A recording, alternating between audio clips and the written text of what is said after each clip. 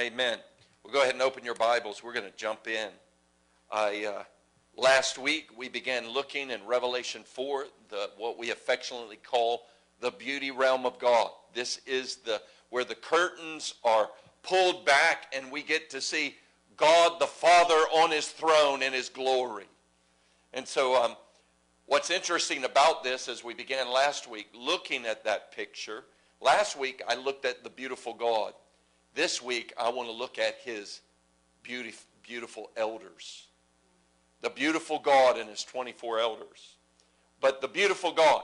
The, the book of Revelation begins with this interesting uh, verse. It says, The revelation of Jesus Christ, which God gave Jesus to give to us. that interesting? What a phrase that God the Father looks over at his right hand to his Son and gives God the Son the permission to display his second coming glory to the church. Now, we read the Gospels and we see his first coming glory, and it undoes our hearts with love for Jesus. It makes us want him.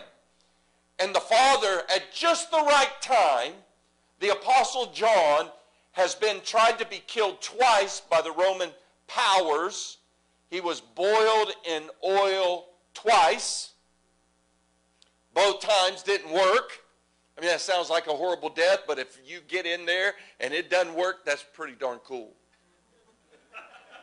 How many people can say, yeah, they tried to kill me twice, boiled me in oil, but I didn't boil in oil.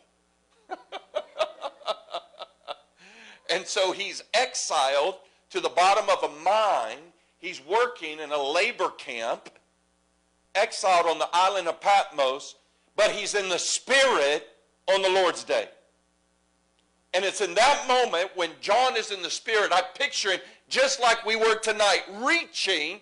John was in the spirit in the bottom of a labor camp, reaching for God. And when he was in the spirit, the Father goes, Now give it to him. Now give it to him. Give him what? Give him the revelation of your glory. He leaned his head back on your breast at the communion table. He watched you as a man on the earth. He watched you die on that cross and bleed out for love of the world. He watched you raised from the dead, but he's never seen your second coming glory. Give him that. And when you give him that second coming glory, just like the Gospels caused the church to fall in love with your first coming and your, and your, your uh, sacrifice, your atoning sacrifice for sin, so too the revelation of your second coming glory will cause the church to want you to come again just as the first coming is recorded in the Gospels, and we go, Yes, we want you. Anybody? You re- I, I, want him. I, I want that guy. What that guy did. God in the flesh. I want him. The book of Revelation produces the same response, which is, I want him. Thank you for him. I want him. I want him to come and make all things new everything right, everything made new, everything that's wicked and hinders love removed. I want that God to split the heavens and come down. And it's that revelation that the same John who leaned his head on his breast at the communion table and asked him questions, and the same John that watched him bleed out for love of us, and the same John that Jesus entrusted him with his mama that same John the Apostle Love on this day gets his mind blown when Jesus gets permission by the Father to speak to John about his end time glory in his second coming. His wise leadership to fulfill the Father's plan to make all things new and for God to dwell on earth. Oh, I tell you, John wasn't ready for that. Says he heard a voice like a trumpet. And when he turned, he saw him, and he had a garment down to his feet a sash of gold. His feet were like burning bronze. His face was shining like the sun. His eyes were like a flame of fire. And out of his mouth came a two edged sword. And when I saw him, I fell as a dead man. The same one that felt so comfortable and just kind of leaning in at the communion table now is curling up in the fetal position, undone by the glory. It says his face shone like the sun in all of its strength. And Jesus, I can just see him smiling. He loves John. John's his beloved, his favorite. I can just see him smiling, going, Oh, you had no idea, did you, John? you had no idea who I am. But there's good news in his first words. This is why we love Jesus. He's that powerful, but his first words are, Don't be afraid. This glory is not here to harm you, it's here to help you, John. It's here to blow your mind, young man. of course, he's not so young anymore. Get up. I've got things to show you. he shows him, he gives him a glimpse of his leadership of the churches in Asia Minor. And then in chapter 4, before he shows him God's blueprint to transition this age into the next age, to bring us from the temporal age to the eternal age, to bring us from God partially here in the Holy Spirit in the midst of the church to God fully here, the New Jerusalem coming down out of heaven, the fullness of the kingdom coming on earth as it is in heaven that transition before he shows John the battle plan, the blueprint, and removing everything that hinders love. Beloved, this isn't, I've heard this said many times, they call it the book of Revelations. No, it's not. It's the book of Revelation of Jesus Christ. It's not a book predominantly about certain visions, it's a book about a man who's fully God who's ruling and reigning over all the kings of the earth and who's going to bring the kingdom of God fully to the earth one day. It's the revelation of Jesus Christ as the King of kings and the Lord of lords. And so before he reveals that blueprint of God's strategy in removing everything that hinders love as Jesus returns, he wants to give us a glimpse of the throne. It's not enough just to know the blueprint. It's not enough just to know the charts, to have the entire drama mapped out and here and on this day and on that day, and then this is going to come, and after that plague comes this plague, and then pow, shaw, all that kind of stuff. It's not enough. You got to know who wrote the plan. You know, so much of my life I knew Jesus died on the cross. I just I just didn't realize he dreamed it up. I knew about the cross, I just didn't know the one on the cross. I just didn't know what he was like. I wish somebody would have told me about the one who dreamed up the cross. He didn't, he didn't have to do the cross. How many of you know that? He dreamed it up. He was a lamb slain before the foundation of the world. There was something in God who would sacrifice for the ones he loves, who would lay everything down for the sake of love. So he had to make a world where he could display it. What kind of God is that? Who makes atonement by the giving up of his life for the ones he loves. Oh, I tell you. And before we get to the, the blueprint of what he's going to do, he shows John who it is that dreamed it up. And it's that guy, because I tell you, after the blueprint's over and after this life is done, it's him who we're left with. when demons are in the right place, when all the bodies are healed, when everybody's saved that needs to be saved, who responded to the gospel, when everything's right and put in its right order, it's just him and us. So you might as well fall in love with him now. And if you don't love him now, you're not assured that you're going to love him then. And then, so if, if I just said that now and you went, oh, oh, ouch, I'm not sure if I really, I mean, I want to be, I don't want to, I don't, I don't want to be apart from him and like go to the second death and uh, I, I, I kind of want to be there, but no, it's, it's more than that. It's not that you get fire insurance and just raise your hand. There's a God out of the overflow of the love of the Father, Son, and Holy Spirit, out of the overflow of that communion, that eternal dance. He dreamed you up as the one creature made in his image to know him forever. All the rest of the creation gets his glory on them, you get his glory in you. Who are you? Oh, this is not fire insurance. This is the internship for pure pleasure and enjoyment with the living God in union. Take advantage of your internship. I tell you, we got I tell you, I, I knew a lot about the cross. I just didn't know the one who dreamed up the cross, who loved me that much. I tell you, when you fall in love with the one who dreamed up the cross, oh my goodness. New birth is just the beginning. it's the beginning of the beginning. Beloved, you, you, we haven't even started. You need a resurrected body just to get to know him well. My gosh, he has a name. I told you this last week. It says in Revelation 19, he has a name you don't know, which means he can't reveal things about himself to you because you're in this fallen, weak body of death and you just blow up. I mean, can you imagine if God just showed up here?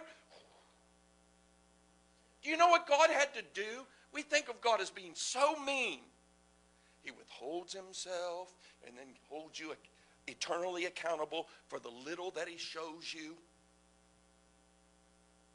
But it's not true. God has a dilemma. It's this how can he keep you alive so that he can love you forever? Did you realize when the children of Israel, when he said, Hey, I don't think I'm going to go with you, I think I'm going to send an angel. Uh, Mo- Moses goes, Wait a minute, you said you would go. No, you don't get it. I'm not like punishing you, I'm trying to save you. You're so stubborn and rebellious. If I get in your midst, I'll kill all of you. Not because I'm mean, because I'm holy. I'm infinite. You're finite. I'm eternal. You're temporal. I'm holy and pure. You're sinful. I'm true, pure, perfect love. And you're rebellious, wicked, and iniquity flowing out of you all the time. I, if, if, if you're like this and I get in your midst, my world, I refuse to change. Have you ever read that verse where Jesus said, Blessed are those who are, are not offended at what I'm like? He's going, I like myself. I'm beautiful and I refuse to be ugly. I'm holy and I refuse to be wicked and mean. Sorry if you don't like me. Can you imagine? God does everything right, and 90% of the earth hates him.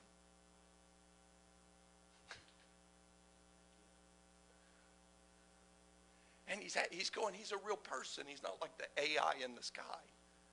Running the AI, what is it called? The algorithm. if the algorithm catches you in sin, he removes your status from heaven. You don't get a Facebook status in heaven. He removes it. Oh, gotcha. And if you beg him just right, work just hard enough, he gives you back your status, but on probation. He might let you in if he's in a good mood. No, he's a person. He's real. He's the living God. He dreamed this whole thing up out of the overflow of his communion with the Father, Son, and Holy Spirit. He brought you forth. And now he's got the dilemma of how can he fulfill his purpose and bring you near without destroying you. And so there was only one way he sent his son to die for your sin. And now that you've said yes to him, you've got a whole lot more to look forward to than fire insurance. A whole lot more. That's what we're going to look at tonight. So, John is going to see the one who dreamed up the plan, the one who dreamed up the cross, the one who dreamed up everything, the one who sits on the throne. And let's look at that in Revelation chapter 4. We're going to, we're going to pay particular attention to one thing tonight since I spent a lot of time on God, the beautiful God, last week, which we didn't scratch the surface. In the book of Job, he talks about the thunders. and, and, it says the, it's just the these are the mere edges. He's looking at a thunderstorm a big, powerful lightning storm and windstorm and how they reflect the knowledge of God. You know, Romans 1 says, all of creation reflects the glory of God. So therefore, no man or woman is without excuse. And he says, those thunder, that lightning, it's just the mere edges. It's like the mere edges of his garment. Can you imagine seeing a category 5 hurricane? and then it's just the mere edges of his power. it's like, what? Oh, it's just the edges. So in Revelation 4, a door opens, and he's going to say, John, the one who walks among the lampstands and gets the church ready for the hour of, of trial and the hour of presence, presence and pressure. And after the church walks through Revelation 6 to 19, she's going to end up fully mature saying, Come, Lord Jesus. She's going to agree with the Spirit. The Spirit and the bride say, Come. She's going to be fully in her identity as one who's loved by Him as the bride and is going to want Him to come. But before that, John's going to see the one who's seated on the throne. Now look at this. And after these things I looked, and behold, a door standing open in heaven. A door opens, and the first voice which I heard was like a trumpet speaking with me, saying, Come up here, and I will show you things which must take place after this. So we talked about Jesus, the voice that he first heard that sound like a trumpet, which is Jesus. Jesus is the one who opens the door. That's what we spoke of last week. Jesus opens the door to heaven. There's no other way to get in. He's the one. He opens the door, and this is good news for you. He opens it. He's the only way, but the good news is he opens it. You don't.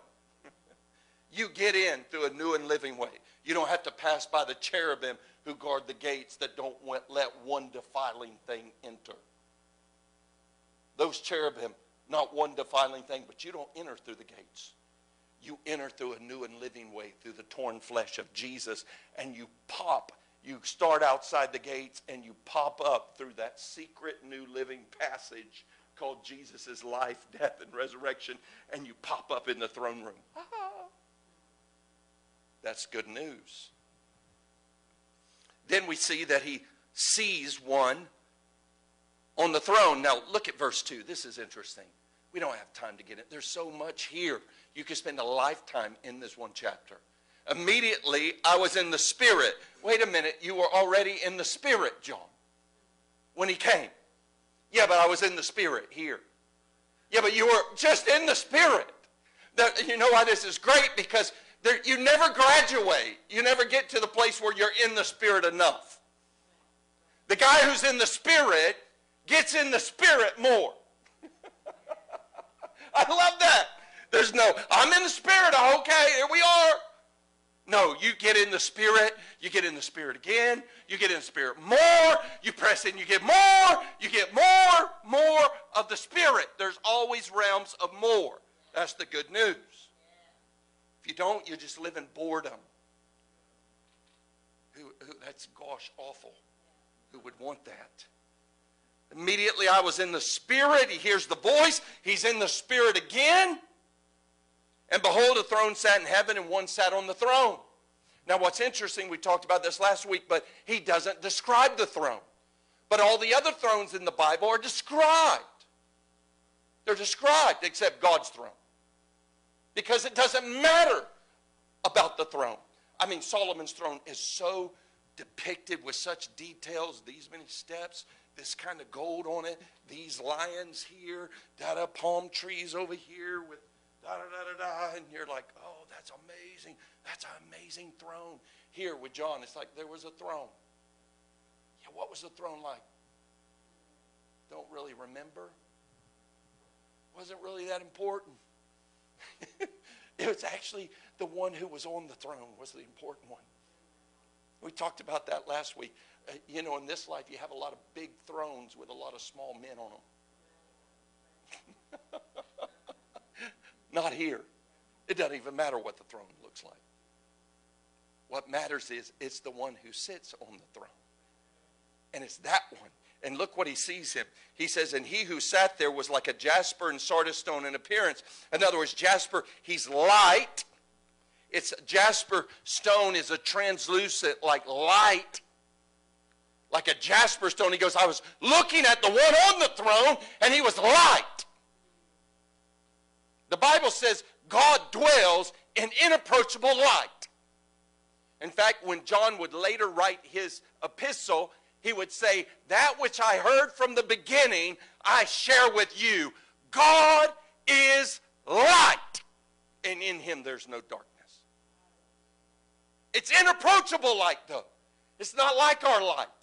Our light, you can pass through it. His light, you can't pass through it. It's got things in it. it's got things in the light, like humility, virtue, righteousness, meekness, kindness. That light has heavy weight stuff in there. You can't press through it, it's inapproachable. It's inapproachable. He's light. That's good news. We talked about that last week. That's your salvation. God's light. You better be glad. Can you imagine if that kind of powerful being had one bad mood?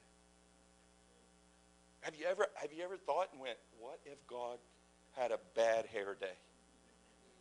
What if he just woke up and went, I'm taking the whole thing out? Why? Doesn't matter. I want to.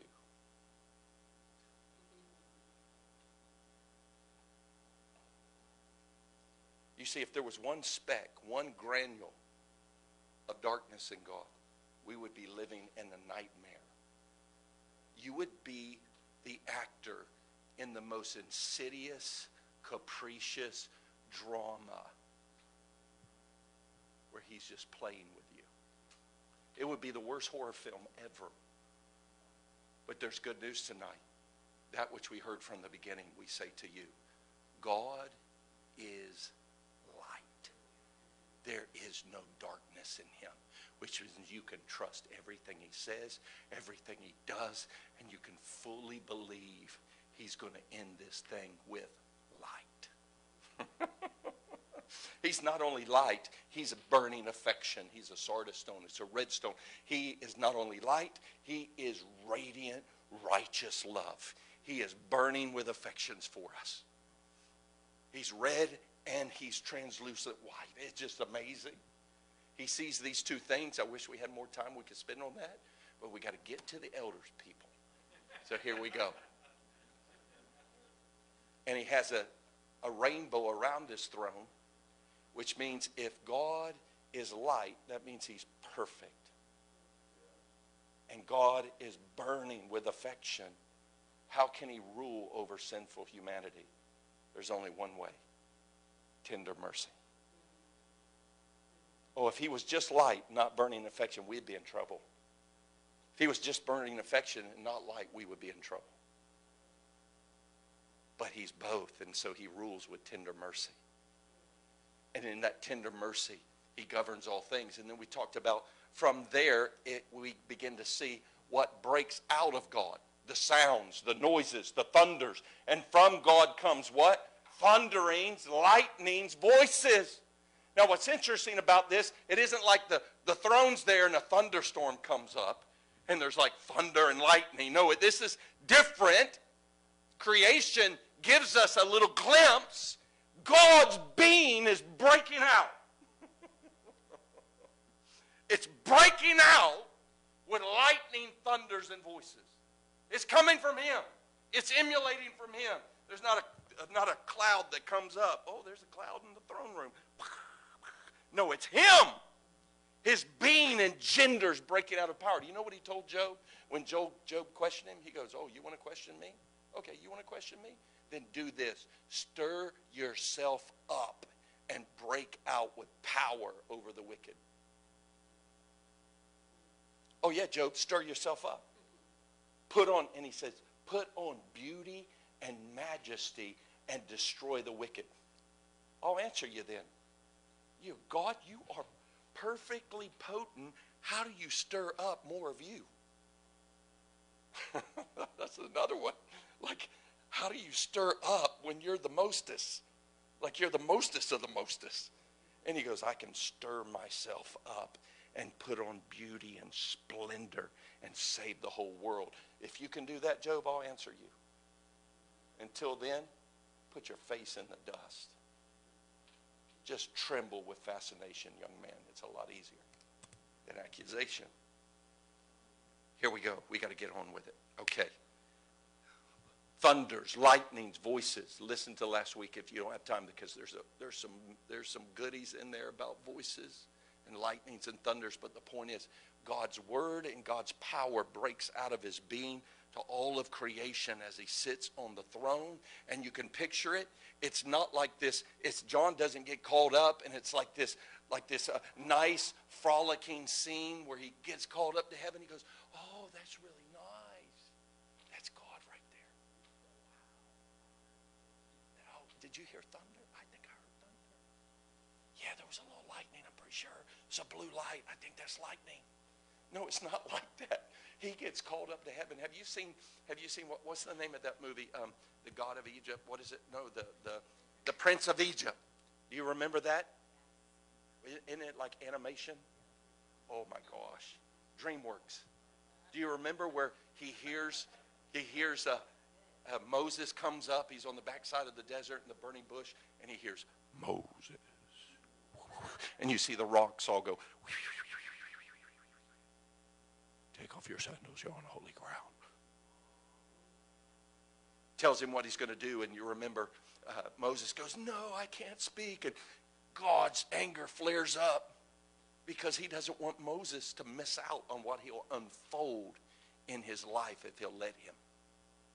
He goes, Am I not the one who created the tongue? And then, do you remember that scene where he picks him up into the glory, that whirlwind of Anybody watch Prince of Egypt in this place? Am I the only one that had kids? Come on, people. That's your assignment. Go watch the cartoon. It is anointed. They did that scene. They did that scene right where the glory of God picked him up in the whirlwind. You remember that? Beloved, on this day, when John goes through that open door, it's not like a little frolicking. It's not like, what is it, Chronicles of Narnia, where you pop up by the lamppost and go, oh, what's that creature's name? No, the, the, the, the what is it? The faun. Thomas? Tumnus. It's not Tumnus. You're not getting greeted by a little faun and frolicking through the whatever. This is the door opens, you go up, and it's like a category five hurricane of light and power and lightning and voices and rumblings and movings where even the living creatures have hooves to dig their feet into the sea of glass so they are blown over.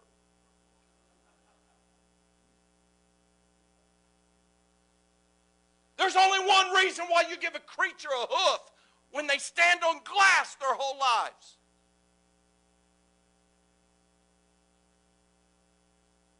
To dig in and hold on. He's God. He is God.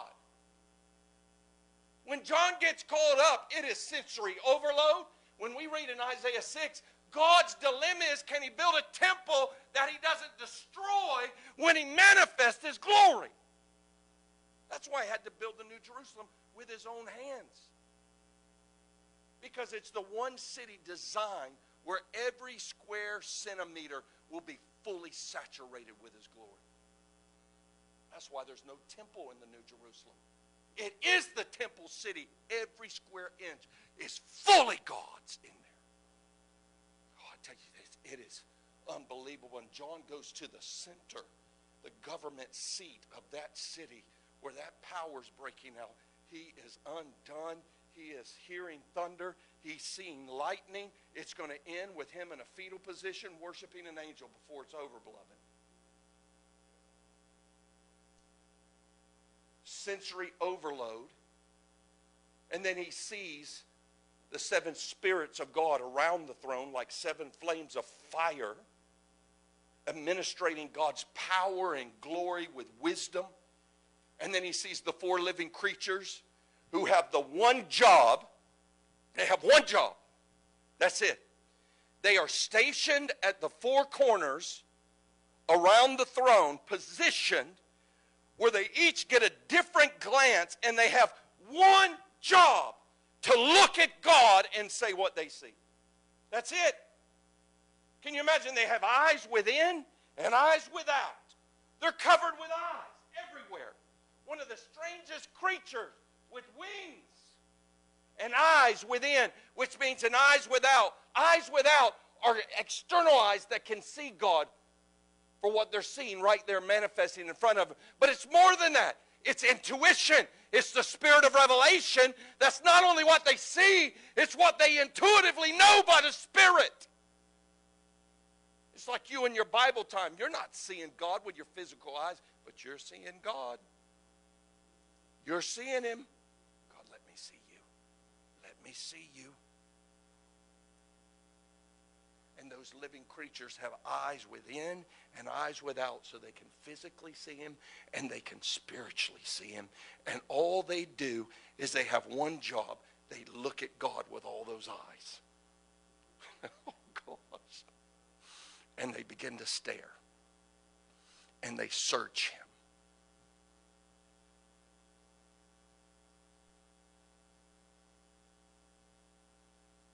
And then when the hard drive fails.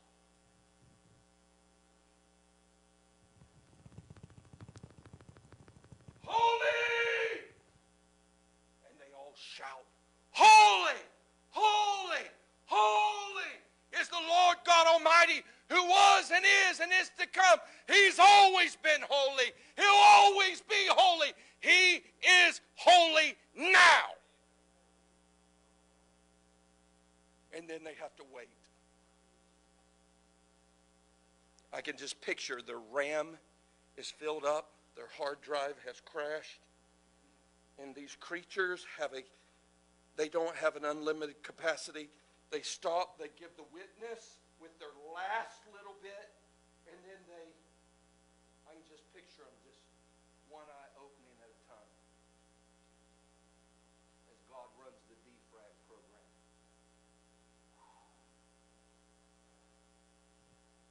They shake it off, they tilt just one inch and get a different angle.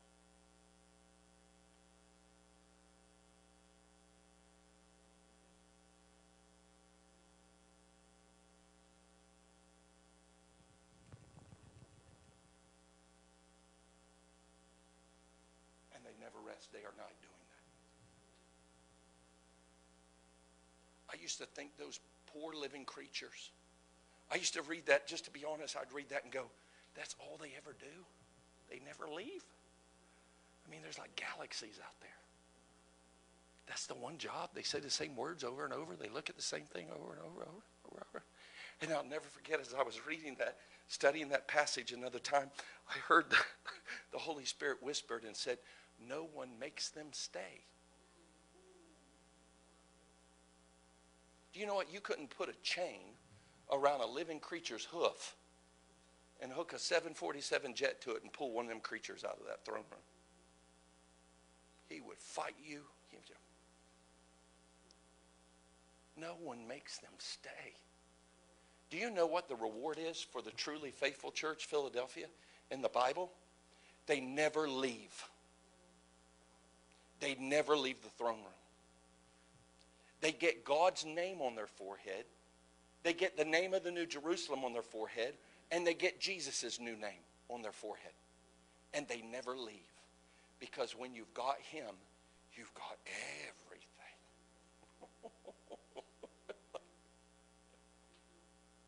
you couldn't pull a living creature out of the throne room if you tried. No one makes them stay. Oh, beloved, that's the spirit of revelation. Have you been laid hold of God where no one makes you read this thing? No one makes you pray. No one makes you worship. You're not doing it because someone else is watching. You're doing it because you've been laid hold of. I remember pastors used to ask me all the time, they'd go, Hey, why would you do 24 7? I mean, it's kind of cool. You've been doing it for 15 years now, but don't you think that's a little out of balance? I mean, couldn't you be doing something else? And I said, Can so I put it in perspective. I go, oh, okay, okay. Let me let me ask you a question. What do you think the response of a living creature would be if you asked him that question? Can you imagine a pastor walking up next to a living creature? Hey. Hey, got a question. I, I could just picture like one eyeball just that's all they would give, just one. Maybe half an eye. Is, isn't this a little out of balance? I mean, all you do, you never rest day or night. All you do is look at him and then say the same three phrases. I can almost just picture one of the living creatures going, uh, are, are you looking at who we're looking at? Take your two eyes and put them right there. Beloved, do you know what 24 7? 24 7 is not extravagant. 24 7 is our constraint. You're constrained by time here. The living creatures, they'd give him 25 8 if they could. they don't even know when it's morning or night, they just keep doing it.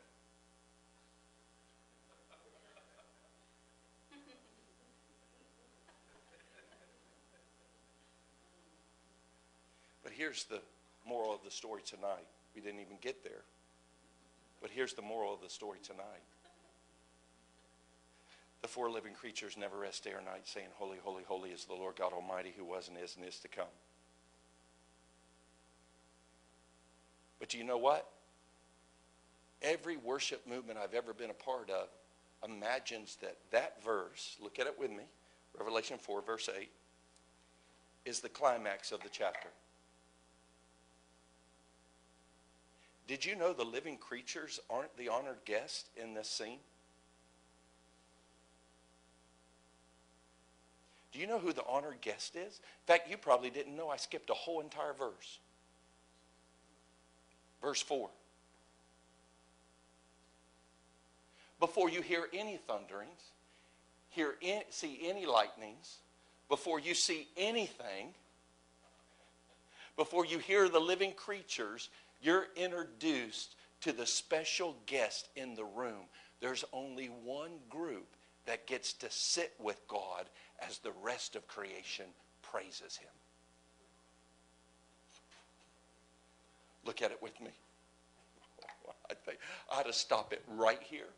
And you go on a study this week of why God lets the elders sit as the rest of creation praises him.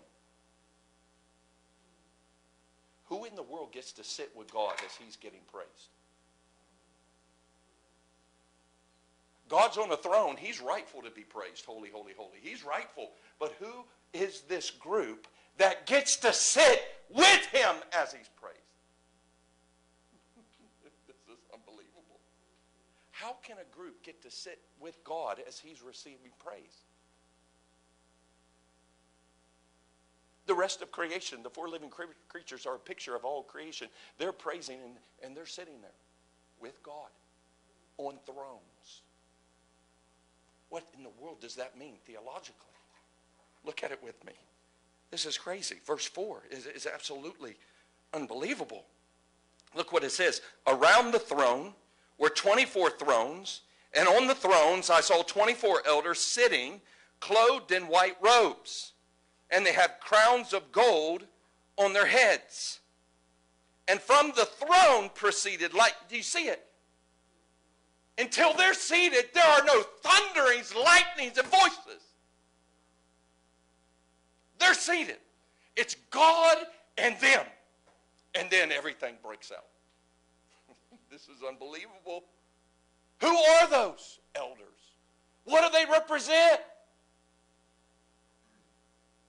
The 24 elders are the representation of the people of God throughout all of redemptive history. It's the 12 tribes in the Old Covenant, and it's the 12 apostles in the New Covenant.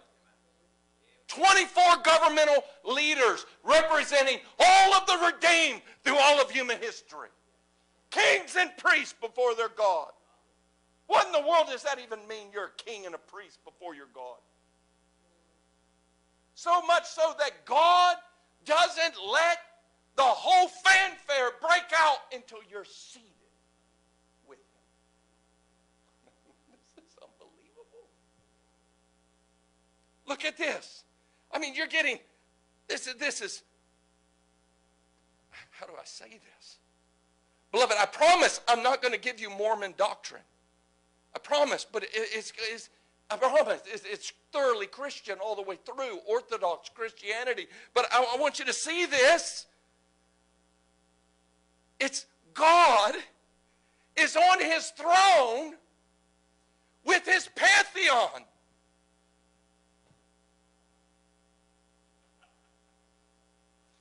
The picture of this throne room is God is there on a throne, and then there's 24 other thrones that represent the redeemed, those made in his image, and they're his pantheon of God, so to speak. God and his gods. I'm not saying you're going to get married celestially and have a planet and have celestial babies somewhere. I'm not Mormon. It's not that but it's expressing what it means to be made in the image of God. Do you know who you are?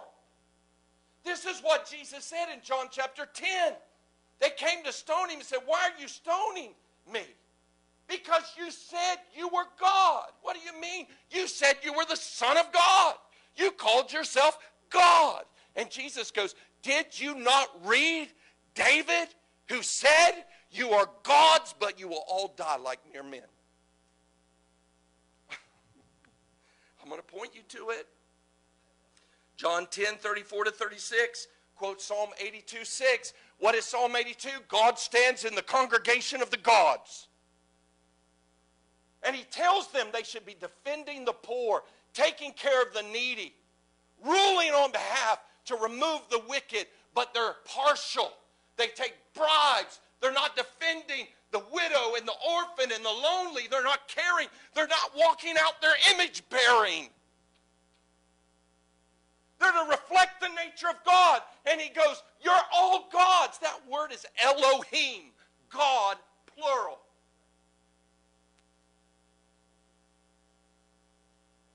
You're all gods, but you'll die like mere men. In other words, the psalmist is going, Do you know who you are? You're made in the image of God to rule and reign on his behalf, but you're acting just like mere men. Wicked and iniquitous. Oh, beloved, let me, let me say this to you clearly. You will never be God, but you will never just be a man or a woman. You were the one creature made out of clay, and then God breathed heaven into your lungs. You are the mediator between heaven and earth. There's no one like you in all of creation. Angels get his glory on them. You get his glory in you. Do you know who you are? And you wonder whether he loves you? You wonder whether he likes you? Do you know who you are? Do you know what he's made you for? And this is your internship, your period to be trained to reign with God for all eternity. Doesn't even matter the occupation you do. Do it all for Him, and it'll prepare you over all things with Christ Jesus. This is unbelievable. I bet you've never heard anything like this. That's how sad it is, people. We need a restoration of Christian doctrine in the camp. Oh, God, help us. Oh, look at this. That's why David said, He made you a little lower than the angels. What is man that you are mindful of him? The Son of Man that you care for him? You made him lower than the angels, and then you gave him. You exalted him and gave him glory and honor. You know, 1 Peter 1.12 says that angels long to look into salvation. Do you know angels are blown away? What? These little creatures? These clay vessels? They're the ones? What? Them? And they are, the angels, are servants of the saints. That's why it says in Hebrews 2 he didn't come to save angels and die an angel's death. He took on flesh and died your death. Therefore, he's not ashamed to call you his brother. You know, Jesus is your God and King, and he's your brother. You're going to see him one day, and he's going to have cheekbones like Mary, eyes like Mary. You're going to look at him, you're going to look at her, you're going to look at him, you're going to look at her, and you're going to go, that's her boy. He is fully man and fully God. Do you want to know what the, the theologians call the twofold shock to principalities and powers? Is when the eternal Son of God, the second person of the Trinity, that angels gazed on and worshiped night and day, became a seven pound, 21 inch little baby. Can you imagine the angel Michael?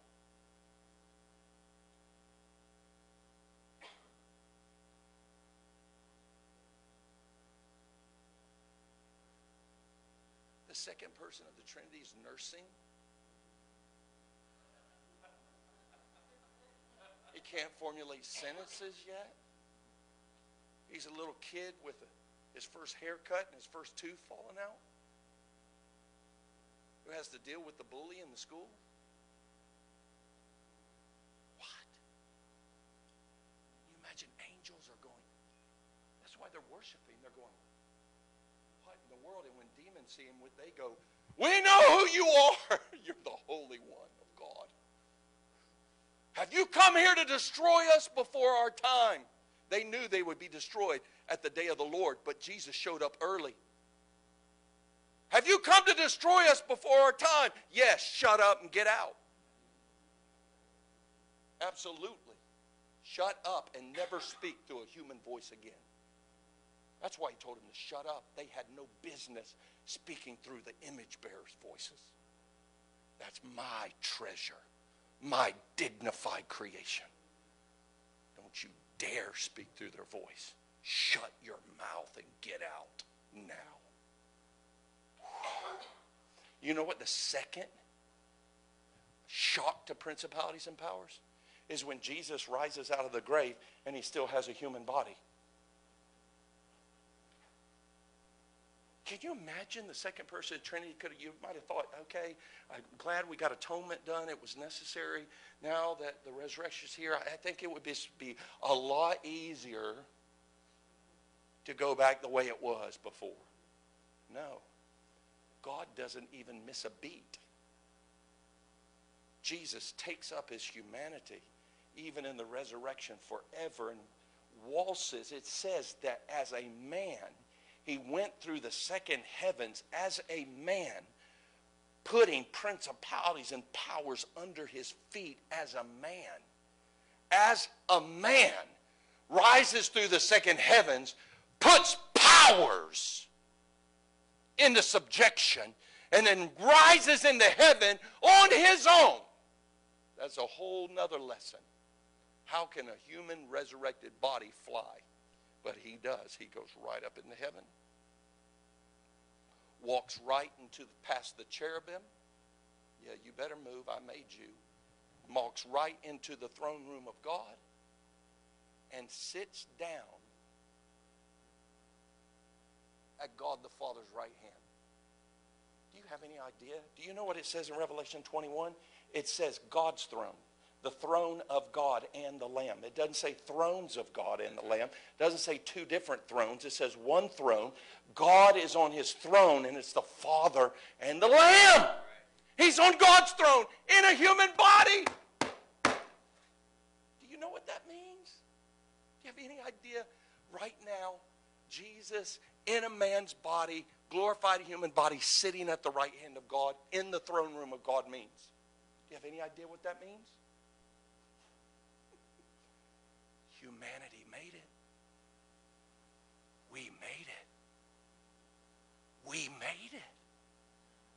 Our big brother, our God, and our King has brought all of humanity. That's what he says. He rose from the dead, and what did he give? He gave gifts to God, men as gifts to God in his train. He took us with him. And he well, what? What does Ephesians say? We're seated where? In heavenly places with who? Christ Jesus. Who has what? All authority over principalities and powers. Do you have any idea who you are?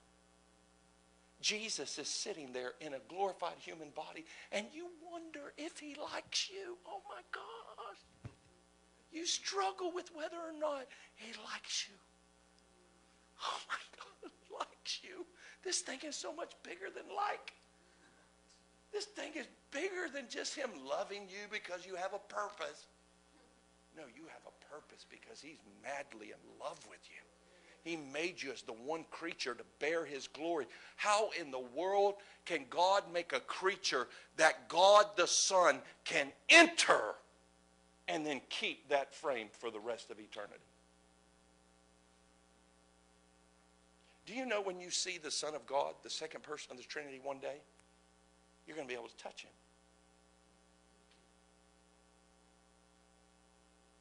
You have any idea? You're going to be able to hear the intonation of his voice, see the inflection, uh, hear the inflection of his voice, see the different way he postures his face, see the look in his eye, and you're going to go, oh my gosh. God is a person. God is seriously personable. You know what? This is good news. You know, that, you know what that means? One day you're going to stand before the throne and you're not going to come up to an energy force. We're going to stand before the judgment seat of Christ. That's a great news. That is great, great, great, great, great news. Why? Because you're not going to meet a ball of energy. Oh,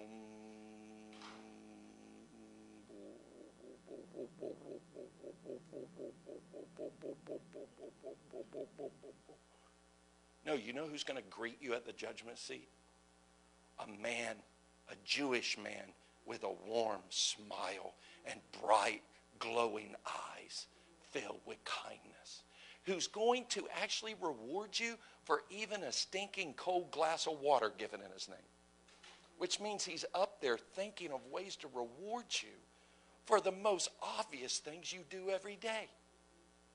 And you actually think he's mostly mad, mostly mad, mostly dislikes your life, mostly looking for ways to count you out. Oh my gosh! Do you know who he is? And the 24 elders.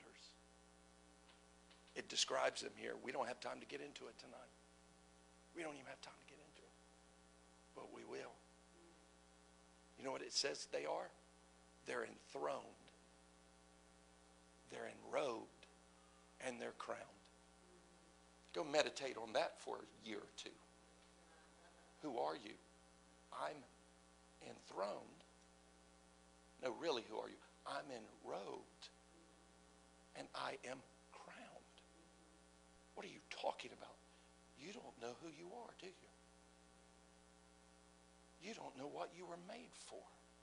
You think this whole life of trial and suffering and perseverance and staying true to your vows and treating other people the way you would treat them and overcoming your failures and picking yourself back up, though you failed seven times and blew it like everybody did and David did, and, and you pick yourself back up and you say yes again. You think all this is so you can kind of just go to some ethereal floating cloud called heaven and just kind of be there in some kind of ethereal state. I got in. Praise God, I got fire insurance called the cross. Thank you. Didn't go to hell. Don't know why I'm here for, but I praise God I didn't go to there. No, this thing's way better than that, beloved. You are the ruling class for all the ages to come. And if you ever start believing it, you might live different. Because if you feel dirty and you feel aimless, you live dirty and you live aimless. But if you know who you are, you prepare for that day. It's amazing. How many of y'all seen like the what is it called, the Princess Diaries or something like that? It's a girl movie. It's that. It's got that girl with the funny smile. What's her? Yeah, yeah, that, that thing. And uh, but every movie like that, there's somebody who's being trained for something royal. They're being trained for something royal. And they want to get out of it because it just seems easier if you leave a aim, live an aimless, purposeless life. Instead, you got to learn Russian, French, seven different languages, and how to fight with a sword, and how to, you know, negotiate with your enemies, and you know, learn the art of war and how to lead armies and uh, that's what royalty does. They prepare their whole life to do one thing, rule. But as much as they try to get away, get out of it, they end up what? Saying yes, because it's what they were destined for. Beloved, you may have tried to get out of this several times. But there's a reason for your exertion, your endurance, your trials, you signing back up, you learning how to walk in humility and meekness, you extending forgiveness to others and yourself. Because you're learning, you're training to reign. You're enthroned. Oh, I tell you, we're going to talk about this more next week. But this is enough to meditate on this week. You're enthroned. You have any idea what that means? I mean, think about scriptures like this. Hebrews says that angels are messengers, a flame of fire that serve the saints. They serve the saints. Do you know Revelation, Revelation 10, there's an angel that is so big, he can put one foot on the Mediterranean in the middle of the Mediterranean Ocean and one foot in the middle of the Middle East. Now you do the math on that. He's not like at the shoreline, kind of like in the water on the edge. No, he's got one foot in the middle of the Middle East, one foot in the middle of the Mediterranean Ocean, and he's that big. Do the math. There's another angel that says he, he stands in the middle of the sun. Now, what kind of being can stand in the middle of the sun. Have you done the dimensions on the sun? That's a big angel, people. That's a massive angel. There's another angel that comes down that says when he comes down, his the glory on him lights up the whole earth. Let me ask you a question. The sun can't even light up the whole earth. And yet there's an angel who comes down whose glory bends curves and wraps around the earth and lights the whole thing up? That's a serious angel, beloved. That's just one angel. Do you know what Paul says to the saints in Corinthians when they're living sinful and bickering and debating lives, factious lives? In 1 Corinthians 6, he's getting frustrated at them that they're suing one another. They actually are suing one another and taking each other to public court with their differences. And Paul looks at him and goes, What? What are you doing? He goes, Do you know who you are? Is there not a man or woman of wisdom in this place? Do you not have one person that is smart enough and wise enough in the grace of God to rule on this behalf? He looks at him and goes, You're taking each other to court. You would have been better off letting them completely take all your money than to give the image bearers a bad name. You would have been better off just letting them take advantage of you than it getting known that there's nobody among the church who's wise enough to settle these issues. He goes, Don't you know? And here's the catchphrase, guys. Here's the catchphrase. Don't you know you're going to judge angels one day?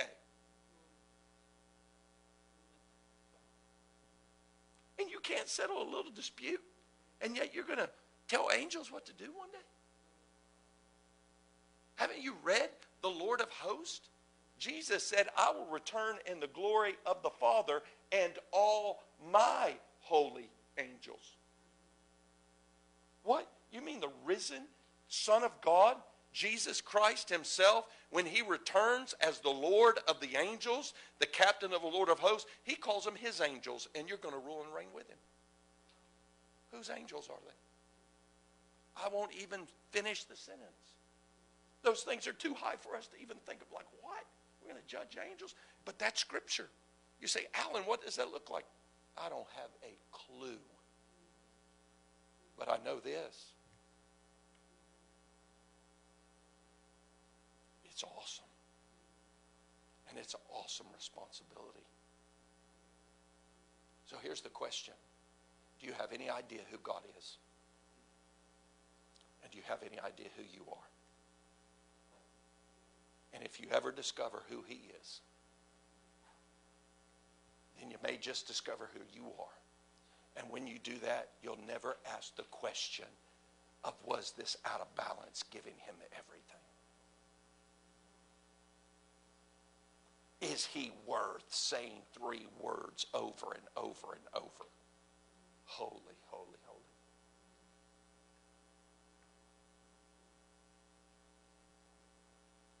If you get there, you'll do like them. You'll tell everybody else, put your two eyes on who I'm looking at, and you won't ask that question. And I just kept hearing this phrase tonight, and you wonder if he likes you. You're dealing with the God that even when you screw up majorly, even works that together for good to those who love him and called according to his purpose. What kind of God does that? Takes your failures and then uses it to train you to reign better. And then blesses you when you turn to what what? And you wonder whether he likes you. This is a lot bigger than liking you. You're the one creature made in his image. He has everything invested in you. All of his love, all of his forgiveness, all of his mercy, all of his kindness, all of his rewards, all of his whole presence. And you wonder if he likes you. Oh my gosh. Beloved, if we actually got what I'm saying right now, you would be running out of this building just screaming your head off all over. Do you know who he is? Do you know who we are? You were made for more than the sinner's prayer and getting fire insurance. That's your entrance into your enthronement, your enrobement, your crowning. Read that this week if you dare. Revel- I dare you. Revelation 4. Revelation 4 4. I dare you. You just try to get your head around those three phrases. I'm seated on a throne. I'm enrobed and I'm crowned. And while the rest of creation praises him, I get to sit down. That doesn't seem right. that seems a little out of place. Well, we'll talk about that next week. Just go ahead and stand right where you're at. Pablo, you can come up.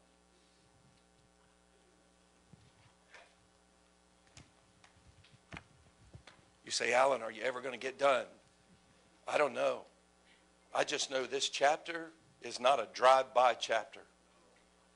This chapter is a lifer. You know what they call a lifer. This thing lays hold of you your whole life, and you think you've known it, and then you read it again like I did this afternoon. I was reading it, and I went, I don't think I know anything. I, I mean, I've got a bunch of notes on this, but I, I, I'm, the mere edges. I hear that question tonight. Do you know who he is? And do you know who you are?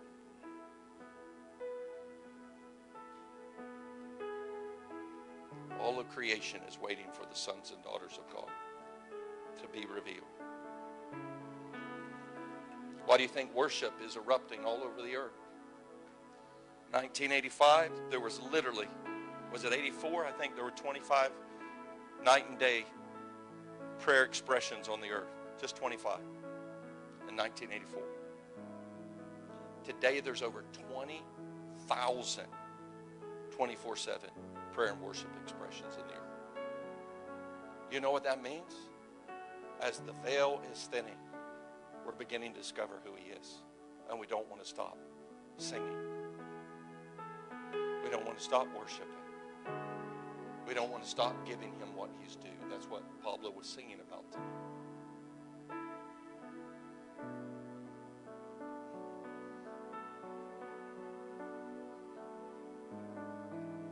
go ahead and lead us, Pablo. If you're here tonight, you go, you know what? I have no clue what those verses meant that you read tonight. I heard what you preached, but I, I don't know if I've wrapped my mind around it. Then go on a journey this week and wrap your mind around it. Have him blow your mind Father, I ask you for the spirit of revelation to rest upon this house, that we would know who we are in you, that we would know the hope to which you've called us, the inheritance you have in us, the incomparably great power you have for the saints, the same power that raised you from the dead and seated you in heavenly places high above all principalities and powers and made you the head of the church, which is the fullness of you in every way. What? We're the fullness of Him in every way. What? What does that mean,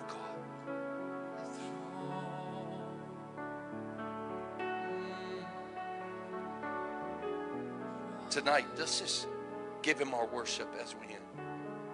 I, I tell you, I, I've been praying today. I go, Lord, how do you want to end this thing? Like, what do you want to do? And I just felt like He said, I, want to I want to pierce hearts with a hunger to know Him and to know who we are in light of who He is. If that's you tonight, you go, I want to hunger. I want to thirst for these things.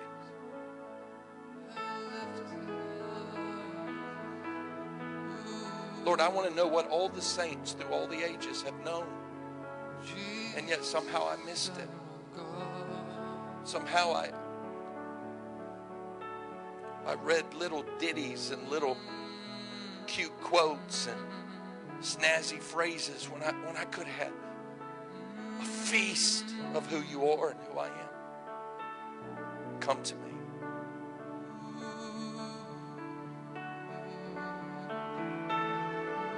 Me. Share with me who you are. Let the spirit of revelation touch my life. Come to me,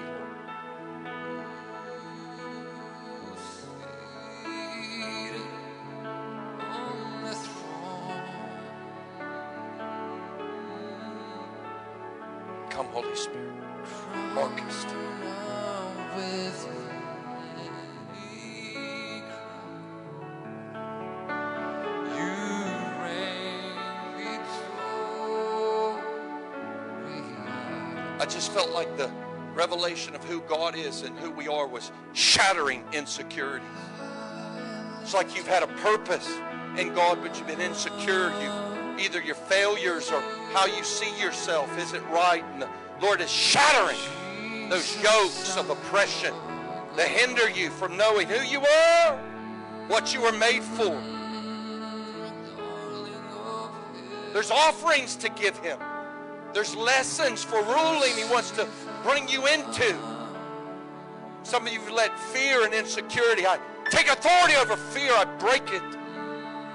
Lord, we renounce it. We want no fear and insecurity, God. We want to move into who we are in you. Help us. Everything you made us for. Everything you died for. Everything you rose for. And are praying right now at the right hand of the Father. Have your way, Jesus, with me. Have your way.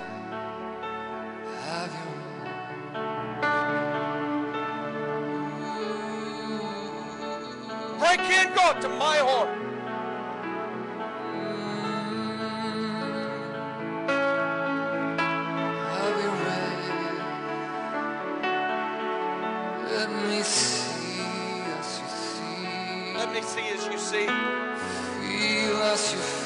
I really enthroned with you, seated in heavenly places? Have your way. Am I really enrobed and crowned? Let me see. What do these things mean? Let it reorient my life, Jesus. Let it bring deep meaning, deep affection, deep love for your people, for your word, for your ways. Train me to reign.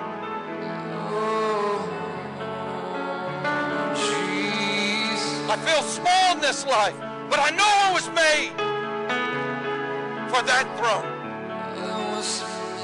to rule and reign with you. Come to reign with you. I was made Shatter every hindrance, every form of false humility. Nothing less than what you died for, Jesus. Come to me.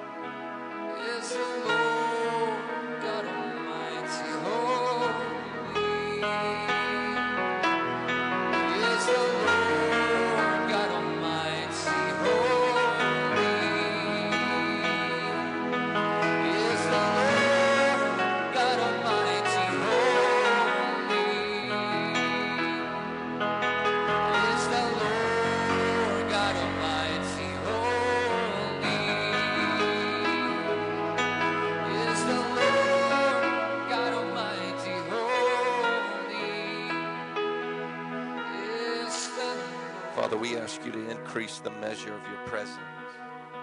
Oh, we gather